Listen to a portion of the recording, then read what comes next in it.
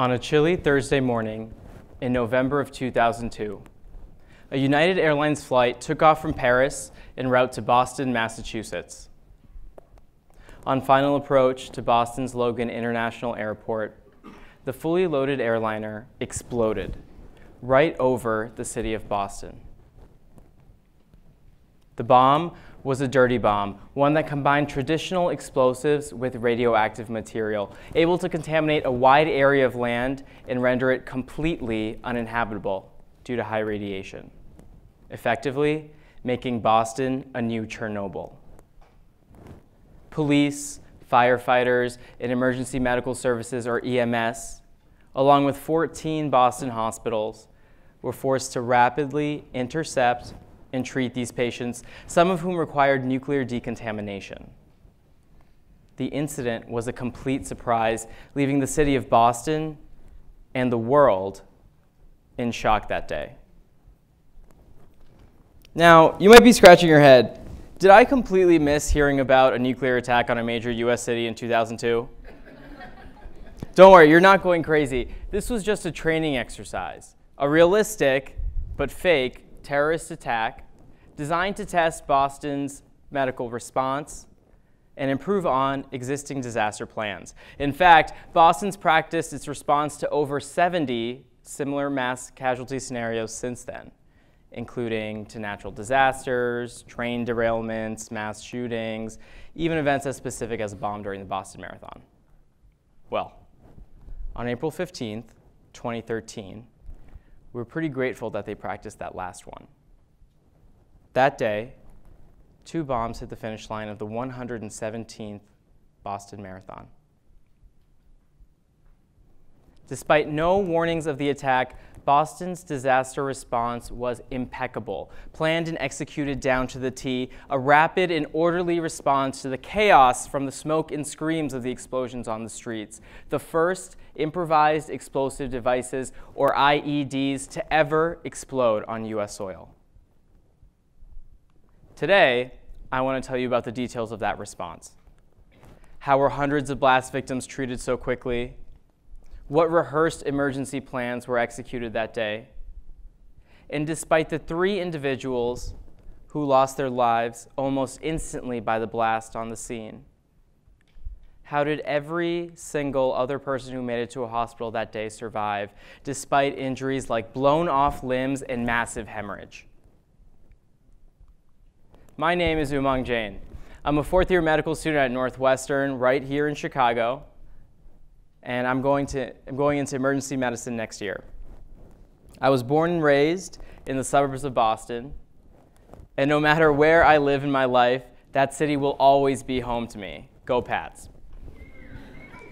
So, when I was here in Chicago, sitting on my couch on that Monday in April of 2013, I was terrified. Imagine seeing your hometown and not being able to recognize any of it. Just to let you know, some of these next pictures are a little graphic. My eyes were glued to the screen, where bloody people were running away as fast as they could from clouds of smoke, news headlines screaming, Bombs hit Boston Marathon. My hands shook as I picked up my cell phone and tried to decide who to call first. My parents, my sister, or my friends, some of whom live only a few blocks away from those explosions. Who would you call first in that situation? Thankfully, my family and friends were safe that day, but not everyone was so lucky. There was blood on the streets of my hometown, and underneath my confusion and my fury, the only thing I could think about was I really hope Boston had a plan for something like this, or else a lot of people are going to die today. This is the story of the Boston Marathon response. At 2:49 p.m., the first bomb exploded. The second exploded 13 seconds later and a block away from the first. The bombs were IEDs, pressure cookers filled with nails, ball bearings, and black powder connected to a detonator. When the detonator was pushed, the black powder exploded. Gases rapidly heated up and expanded, and a shockwave was created, which spread outwards, burst through the pressure cooker, and released the nails and ball bearings at a speed of one kilometer per second in all directions. The combination of the debris and the shockwave had the power to knock people down, throw them in the air, blow off limbs, and cause blunt and penetrating trauma to the body and the brain. It was pure and utter chaos. Boston police and EMS enacted their emergency protocol. They stopped the race.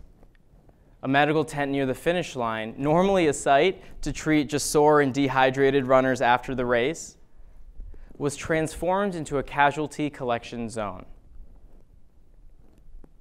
After years of IED explosions in Iraq and Afghanistan, EMS had learned to place tourniquets in blast injury patients to help control hemorrhage. They expanded their communications network and called on private ambulances to help. They used green, yellow, and red tags to stratify the patients in terms of the severity of their injuries. They moved those 30 critically ill or red tagged patients within just 18 minutes of the explosions.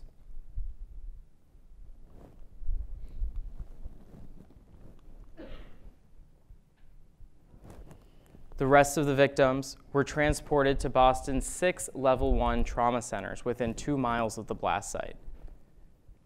EMS coordinated its plan so that each one of these hospitals knew ahead of time exactly how many patients they would be receiving and what types of injuries they would have. Now, keep in mind, Boston boasts some of the best hospitals in the United States. But an explosion like this one had the ability to overwhelm even the best. Major injuries included embedded shrapnel, burns, open fractures, and fully amputated limbs. Minor injuries included ear barotrauma, or a burst eardrum, and severe anxiety attacks. And to make matters even worse, two of these hospitals, Mass General Hospital and the Brigham and Women's Hospital, you might have heard of them, had entirely full emergency rooms and operating rooms before the explosions. Word of the explosions first got to the hospitals over a system called CMED. CMED is the standard radio frequency EMS uses to alert ER staff ahead of time of what types of patients they'll be receiving and what sorts of injuries they have. Dr. Emily Aronson. Dr. Emily Aronson is an emergency medicine physician who was working in the Brigham's ER that day. After a loud beep overhead to alert staff, CMED announced that a severely injured patient was coming in. It went off once. It sounded severe, but wasn't something that we hadn't seen before. But then it went off again, and again, and again. This was how it all began. Hospitals initiated Code Amber, that's the indication for a hospital-wide disaster response. The first task was to clear the emergency room of the current and less critically ill patients. So while these patients were moved to other wards, custodial staff rapidly cleaned rooms, and nurses and residents located extra ultrasound machines, tourniquets, and blood.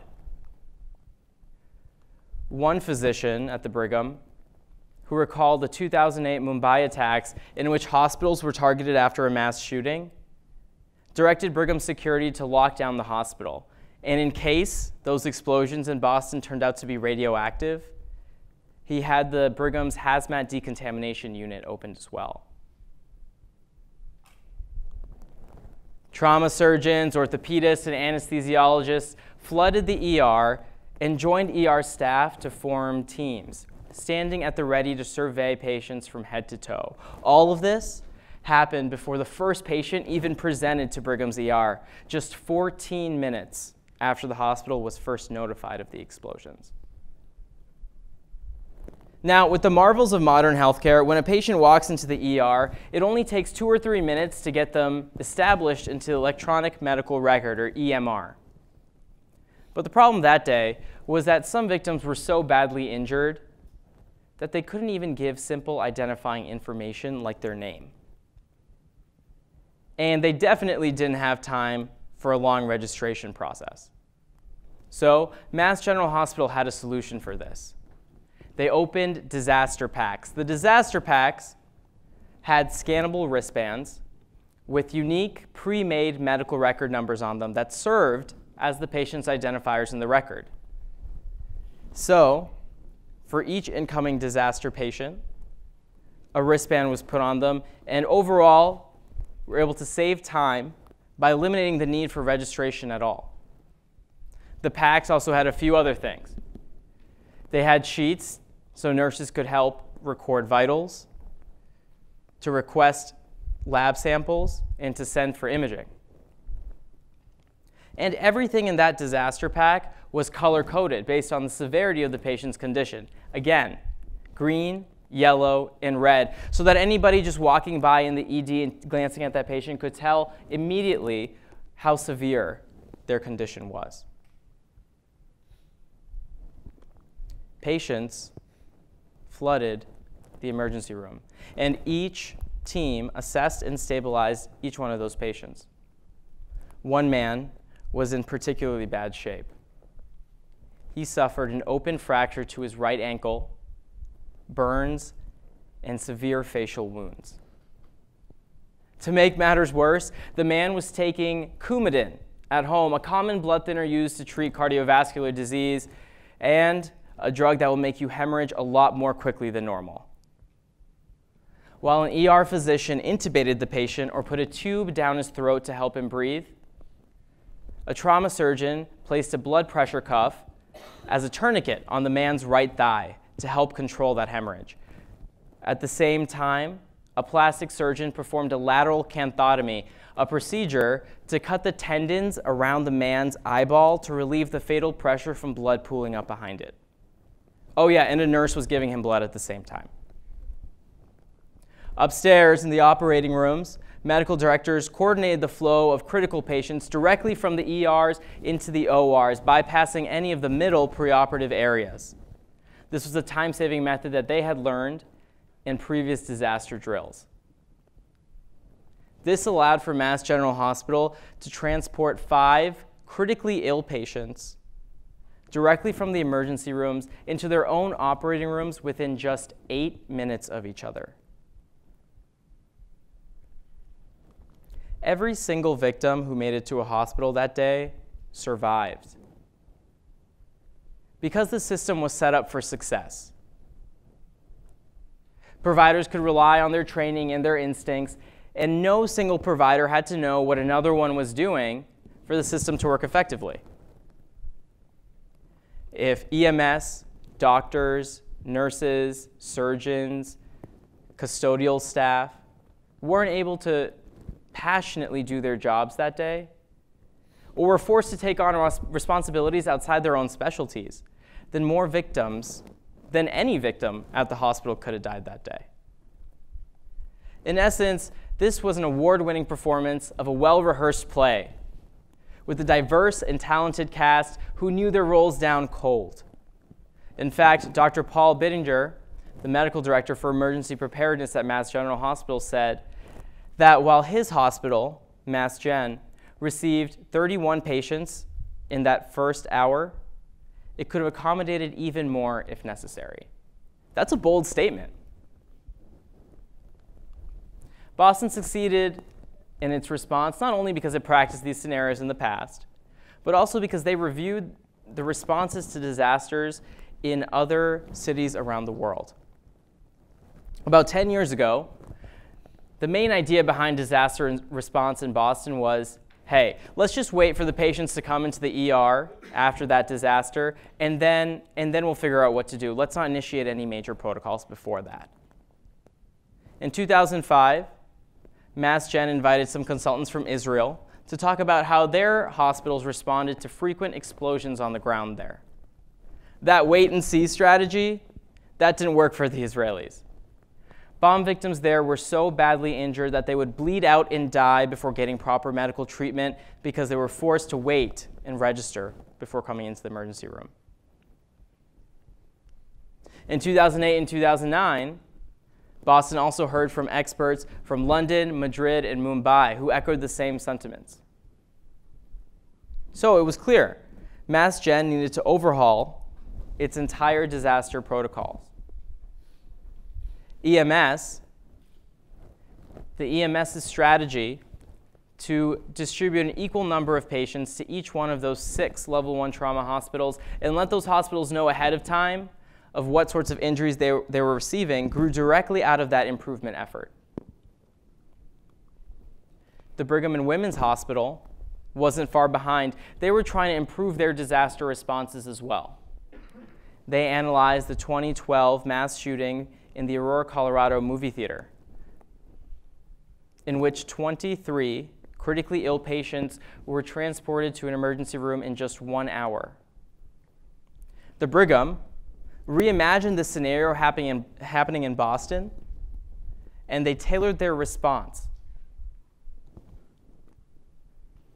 Less than a year later, at the Boston Marathon explosions, exactly 23 critically ill patients presented to Brigham's ER in that first hour, all of whom survived. The hospital directly attributed some of its success that day to the changes they made after analyzing Aurora's response. Cities around the world, like Boston, are only getting more and more crowded, filled with people, buildings, trains, cars, planes, boats, and soon even drones. The capacity for social and technological progress is unlimited.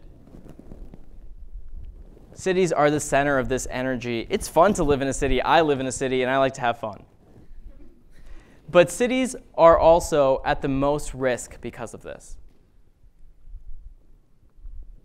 Over the last few decades, we've seen terrorist attacks devastate population centers around the world. No matter where you're from, what political affiliation you hold, what religion you follow, or what war you're fighting, the one thing we can all agree on as citizens is the atrocity of a terrorist bomb hitting a major city and indiscriminately killing innocent people. The one thing that we can agree on is the need for a good disaster response. For that day in Boston, the preparation paid off. While I sat on my couch watching the smoke and screams on TV, hands shaking as I picked up my cell phone and tried to decide who to call first, Little did I know that a massive effort was already underway to save all those lives. So, this is the real Boston Marathon response. Two bombs exploded, killing three people almost instantly and injuring 264, who were triaged by EMS and medical tent staff at the scene. A central operator coordinated the, an equal distribution of those patients, the flow to six level one trauma centers within two miles of the blast site, moving the 30 most critically ill patients or red tag patients within just 18 minutes of the explosions. Hospitals initiated their disaster response, cleared out entirely full emergency rooms and operating rooms, gathered staff who could trust their instincts and their training, and initiated rapid medical treatment. 36 operating rooms were active over six hospitals that afternoon. All life and limb saving procedures were completed before midnight, and every single victim who made it to a hospital survived that day. And Four days later, Boston police shut down the city, conducted a massive manhunt, and arrested one of the terrorists responsible for the attack. And just last month, before the running of the proud 2015 Boston Marathon, that man was formally convicted and given a life sentence for his crimes. The preparation paid off. The emergency medical response was successful. And in the end, the city of Boston stood strong. Thank you.